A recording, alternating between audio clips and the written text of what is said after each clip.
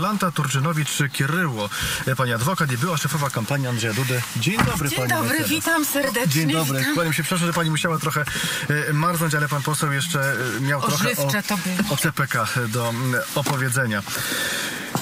Pani mecenas, zanim o kwestiach prawnych, to o kwestii dotyczącej no tego, co już za panią, ale być może wciąż pani ma jakieś kontakty jeszcze z tym środowiskiem. Jak dobrze pani zna Andrzeja Dudę? Była pani szefową jego kampanii, jak go pani dobrze zna. Wydaje mi się, że nie znam prezydenta. O, tak. Wydaje mi się, że nie znam prezydenta, a, dlatego że to, co obserwuję teraz, e, utwierdza mnie w tym, e, że e, prezydent, jakiego ja chciałam reprezentować w kampanii, prezydent, który gdzieś ma takie mm, pragnienie pozostawienia po sobie dobrego śladu w historii Polski, e, pewnej walki nawet o swoją własną niezależność, naprawienia rzeczy, które, które z całą pewnością były nie tylko krytycznie oceniane, ale po prostu były e, nieprawidłowe tak e, w jego działalności, że, że gdzieś się pojawi ta refleksja i, i to będzie już prezydent nie PiS, tylko prezydent Polski, więc e, takiego sobie wyobrażałam, takiego w jakiejś mierze znałam walczącego. To co się E, stało teraz, że ten prezydent jest innym człowiekiem z tego, co pani mówi? Ja myślę, że jest cały czas e, taki sam, że to ja y, miałam takie złudne nadzieje. Czasem człowiek y, chce mm, wejść gdzieś, gdzie dzieje się źle i ma taką nadzieję, że to on jest w stanie przełamać y, to, co się dzieje, że jest w stanie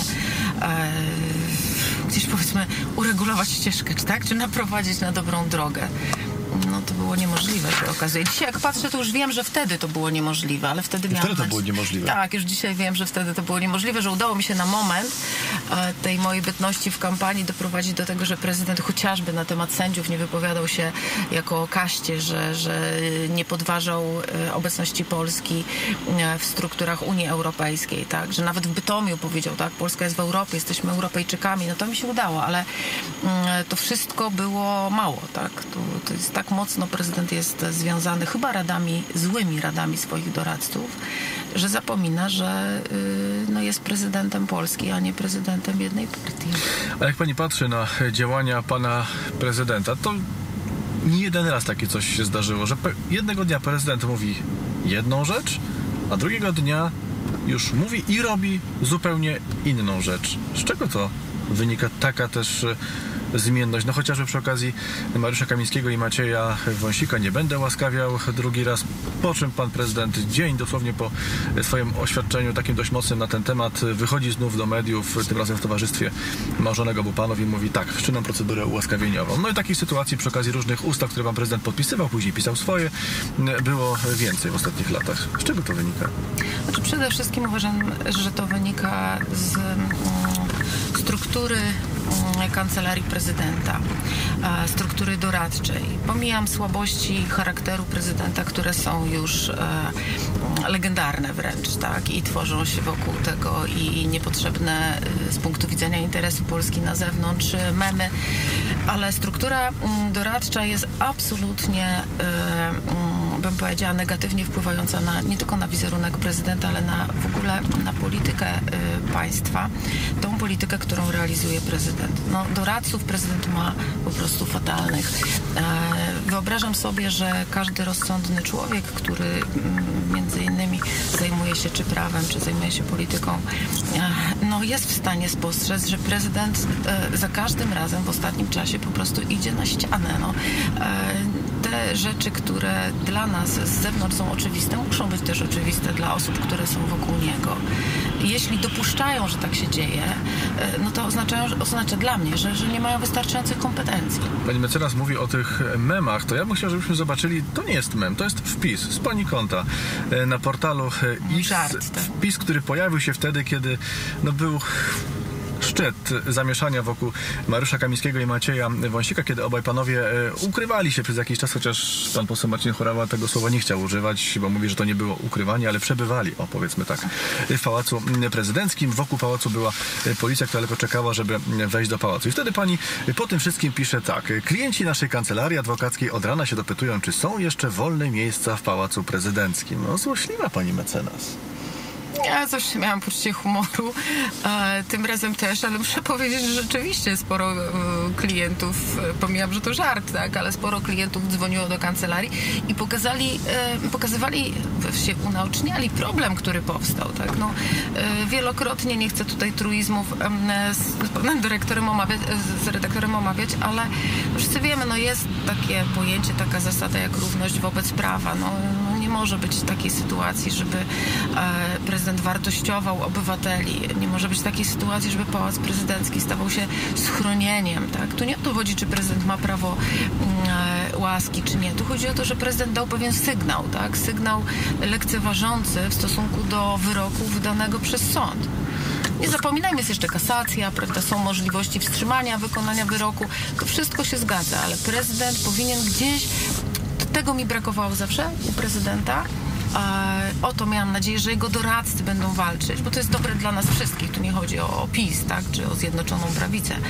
Że będą walczyć o to, żeby prezydent był mężem stanu. No mąż stanu nie może tak się zachować. Pani mówi o tych e, doradcach, to ja bym chciał, żebyśmy zobaczyli jeszcze jedno zdjęcie. To jest zdjęcie Pałacu e, Prezydenckiego. Właściwie nie, nawet nie trzeba podawać daty, bo to przez e, kilka dni albo przez kilka momentów o takie zdjęcia można było zarejestrować, czyli Pałac Prezydencki, jego mm, fasada i e, podobizny e, Mariusza Kamińskiego i Macieja Wąsika. Gdyby pani była doradcą, gdyby pani była wciąż blisko Andrzeja Dudy, pani by mu, panu prezydentowi doradzała wyświetlenie takiej grafiki na fasadzie Pałacu Prezydenckiego? No to jest absolutnie bardzo poważny błąd. Tutaj nie ma chyba w ogóle nikt wątpliwości, łącznie nawet z obecnymi doradcami, bo ten napis został e, zdjęty e, z mm, fasady Pałacu Prezydenckiego. Ale to, co chcę, na co chcę zwrócić uwagę, wydaje mi się, że zamiast e, mm, użyję takiego kolokwialnego słowa, pakować się w kolejne nie tylko wizerunkowe, ale prawne kłopoty.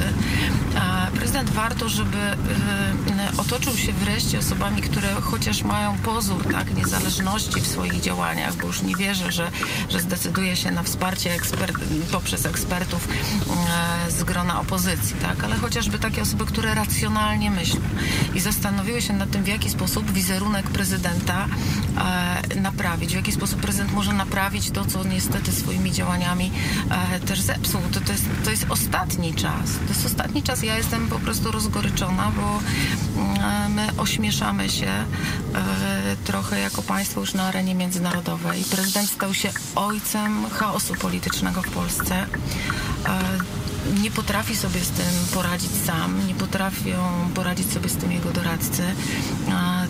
E, to myślę, że może czas na to, żeby no, mieć nie tylko odwagę, ale i pokorę, przyznania się do, y, do błędów mm, i, i próby podjęcia naprawy. Tak? Czy mi się pani, że Andrzej Duda jest takim człowiekiem, który nagle wyjdzie i powie dobrze, popełniłem jakiś błąd, taki, taki, być może taki, przykrością- teraz chciałbym go naprawić, dlatego podejmuję takie, a nie inne działania. Wierzy pani, że to jest możliwe? Ja, panie redaktorze, z przykrością mówię, że nie wierzę w to, że prezydent jest w stanie dzisiaj to powiedzieć, ale wierzę, że apelowanie i, i do jego doradców i wskazywanie na to, że idą złą drogą, że gdzieś tam obudzi w tych ludziach taką refleksję, że to oni też kiedyś mogą przejść do historii jako ci, którzy prowadzili go na tą drogę lub utwierdzali go w tej drodze. Uważam, że powinniśmy wręcz otwarcie wymieniać nazwiska tych No osób. właśnie. One nie powinny się kryć za. Czy pani ma kogoś na myśli, bo pani dużo o tych doradcach e, Zawsze, mówi, tak. właściwie w każdej odpowiedzi pojawia się to sformułowanie, że doradcy albo powinni coś, albo też coś złego zrobili. Kogo konkretnie ma pani na myśli? Kto ma dziś największy wpływ na Andrzeja Dudę pani zdaniem? No tutaj moje zdanie y, niestety nie ma znaczenia, bo nie mam wiedzy, byłyby to supozycje. A, myślę, że Ale mówi zgodnie tym, z paremią uderz w stół, powinni. tak, nożyce się odezwą. No widać osoby, które w szczególności w ostatnim czasie a, te działania prezydenta y, chociażby komentują, czy akceptują, czy szefowa kancelarii prezydenta, czy e, pani minister Małgorzata Paprocka, czy pan Mastalerek, tak, czy, czy pan Błażej Boboży. No to są osoby, które gdzieś afirmują te działania prezydenckie, ale czy one są rzeczywiście w tle i są tym spiritus movens tego, co prezydent mówi, to trudno powiedzieć, ale na pewno są. Dlaczego, skąd wynika ta moja pewność? No z tego, że miałam okazję obserwować brak samodzielności prezydenta, jeśli chodzi o jego e, nie tylko działania, ale jego słowa. Zakładam, że, że te osoby się obudzą i zobaczą, że prowadzą po prostu w przepaść. I to nie tylko chodzi o prezydenta, bo prezydent już naprawdę jest głęboko, głęboko na dole, jeśli chodzi o swoje notowania i o swój wpływ na To ja historię. teraz muszę dopytać pani mecenas, czy ja dobrze rozumiem pani wypowiedź? Prezydent jest taką osobą, pani zdaniem, na którą łatwo wpłynąć? Jest to właściwie rzecz tak oczywista, wydaje mi się, dla nas wszystkich. Być może niektórzy nie mają odwagi, żeby wprost to powiedzieć. E, tak, e, zauważył Pan e, rzecz istotną, tą labilność prezydenta, prawda, że o różnych porach dnia niemalże wygłasza inne e, tezy. No, to wynika naturalnie nie z przemyśleń prezydenta, tylko z wpływu innych osób e, na to, co mówi. E, to jest dobre, czy mąż stanu w taki sposób e, mm, kontaktuje się, Nawet nie czy tyle nie jest dobre, co jest niebezpieczne. To jest jednak prezydent dużego, ważnego kraju, przy którym toczy się wojna. No to dobrze byłoby mieć pewność, że prezydent myśli samodzielnie i że to nie jest tak, że co te przysłowiowe 5 minut ma inną decyzję, inny komunikat do przekazania. To, to, to z perspektywy obywateli to, to, to jest groźne. Panie redaktorze, właściwie jest Pan e, chyba jedną, jednym z pierwszych e, dziennikarzy, którzy na to zwracają uwagę. Jesteśmy krajem e, sąsiedzkim, z krajem, w którym toczy się bardzo istotna z punktu widzenia naszego bezpieczeństwa wojna. I to, że mówimy o praworządności, to jest niezmiernie istotne oczywiście, a, ale to z perspektywy naszego państwa a, nie jest drugorzędne, ale jest na pewno na równi z tym, że każde zamieszki w naszym kraju, każdy niepokój w naszym kraju, każda walka, e, brak uznawania poważnych instytucji państwowych, przecież to, co dzieje się teraz z podważaniem przez e, PiS roli sądów polskich, tak, e, podważaniem roli Co pani e, też w swojej pracy zawodowej odczuwa. Od, to jest tak, to, to jest naprawdę szkodliwe z punktu widzenia interesu narodowego. I to nie można takie, y, nie można tego sprowadzać do takich żarcików właściwie i, i wyłącznie do walki na memy. E, My oczekujemy prezydenta zwierzchnika sił zbrojnych, który e, będzie wzbudzał szacunek również naszych wrogów, a tych wrogów w Polsce na pewno nie brakuje, nawet jeśli dzisiaj oni e, jeszcze nie, nie, nie eksponują prawda, tego stosunku do nas. I to jest ten poważny problem. I, i to jest to, dlaczego uważam, że powinniśmy wokół mm, prezydenta no, tworzyć taki, taki nacisk, e, żeby on był zobowiązany do reprezentowania e, no, nas wszystkich. Pani mecenas, te memy pojawiają się chyba po raz trzeci w Pani wypowiedziach. To ja muszę o to zapytać. Czy jest taki mem, w którym pojawia się Pan prezydent, którego jest bohaterem, który Panią rzeczywiście śmieszy?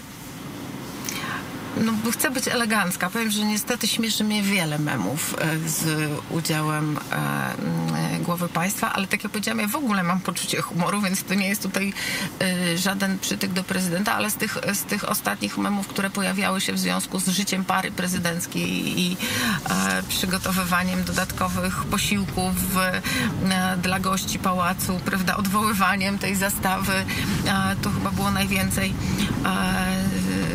najwięcej żartów pojawiało się w przestrzeni publicznej, ale z mojego punktu widzenia y, taki mem, y, y, że tworzy ostatnie miejsca na liście żon do prezydenta. To zawodowo był bardzo ciekawy mem, bo on pokazywał ten problem, prawda? Nie tylko problem z, z, takiego bym powiedziała zaburzenia równości w traktowaniu osób skazanych, które mieliśmy miejsce w stosunku do pana Wojsika i pana Kamińskiego, ale także w stosunku do rodzin skazanych, to uprzywilejowanie e, rodzin, tak, uprzywilejowanie żon. To jeszcze muszę, korzystając z okazji, y, zapytać Panią o żonę, ale nie osoby skazanej, ale o żonę Pana Prezydenta, o pierwszą damę. No Pani y, spędzała y, pewnie trochę czasu i z Panem Prezydentem, i z jego y, Bardzo mało. Bardzo mało Bardzo czasu. mało. Tak można powiedzieć, że z panią prezydentową e, widziałyśmy się parę razy.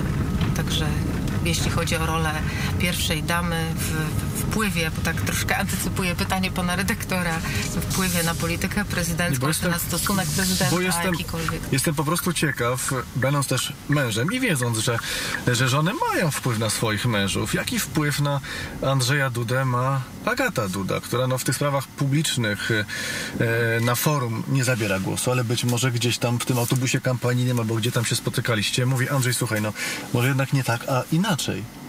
No tak było takie powiedzenie, my rządzimy światem, a nami kobiety.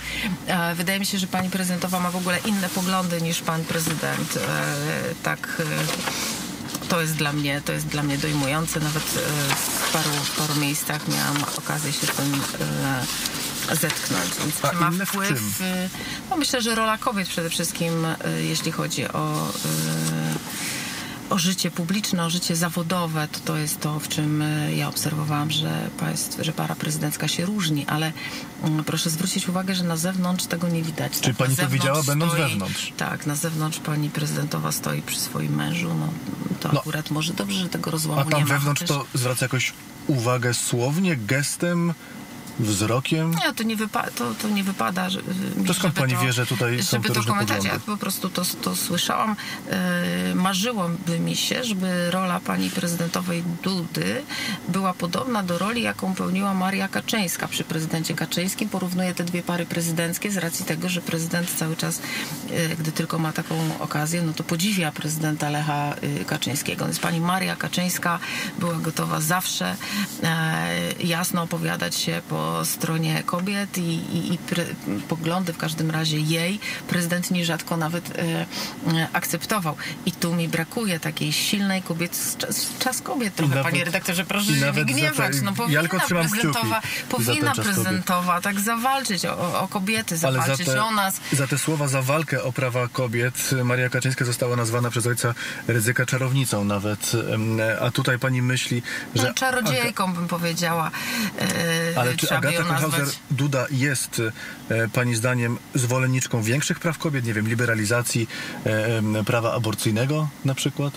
No, na ten temat y, nie rozmawiałyśmy nigdy razem, także nie mogę tutaj niestety się wypowiedzieć, ale y, jeśli chodzi o prawa kobiet, to wydaje mi się, że to jest e, w ogóle taka. Kwestia, co do której prezydent i prezydentowa y, wolą y, unikać odpowiedzi. To jest, na, tyle, na tyle kontrowersyjna, że, że już y, wystarczająco dużo ma problemów prezydent z praworządnością, z y, Europą, z polityką, ze, swoją, y, ze swoim wizerunkiem, ze swoją świtą, że nie dokłada sobie dodatkowych kamyczków, czyli tych kontrowersji. To jeszcze ostatnia rzecz, tu proszę o krótką odpowiedź. Pani jest nie tylko e, e, prawniczką, nie tylko me- mecenasem, ale też i szachistką. I być O, może, i tu to utytułowaną szachistką. Być może to jest też tak, zastanawiam się, że my może nie rozumiemy też tego, co Andrzej Duda robi. Być może pani swoim szachowym okiem na to potrafi spojrzeć nieco inaczej. Być może Andrzej Duda rozgrywa przed nami wszystkimi wielką partię szachów, mając w głowie te dwa, trzy ruchy do przodu. Jest takim strategiem? Grała pani z nim w szachy? E, Nie grałam, ale może to będzie świetne motto. E, Panie redaktorze, jeśli byśmy użyli tej szachowej takiej przenośni, to prezydent non-stop e, mm, podstawia figury. Wydaje mu się, że gra gambitowo. To znaczy, że z tych jego mm, utrat figur będą jakieś korzyści, że wygra tą walkę. Ale ja na to patrzę jako szachistka i widzę, że na końcu tej walki, e, kiedyś była nawet taka książka, na końcu tej walki król jest nagi. I to bym chciała, żeby y, jako motto naszej rozmowy pozostało. E, Prezydent e, dzisiaj otoczony gronem pochlebców i przytakiwaczy nie widzi, że na końcu zostanie sam, będzie bezbronny. E, Bezbronny król przegrywa, przegrywa całą walkę. Ja tylko myślę o tym, żebyśmy my jako kraj nie przegrali przez to, że prezydent tego nie widzi. No to nie jest pozytywna puenta naszej Ach. e, rozmowy. Jolanta Torczynowicz-Kieryło. Bardzo dziękuję pani Dziękuję. mecenas. Bardzo miła rozmowa. Dużo. Dziękuję. Bardzo E, dziękuję. Spokojnej jazdy, bo dzisiaj ślisko. Tak, trudne warunki. Pozdrawiam Tak, też kierowców, do których zaraz dołączam. do. Wszystkiego Dziękuję, dobrego, dziękuję. dobrego dnia. Wszystkiego Bardzo dobrego, dziękuję. dziękuję bardzo.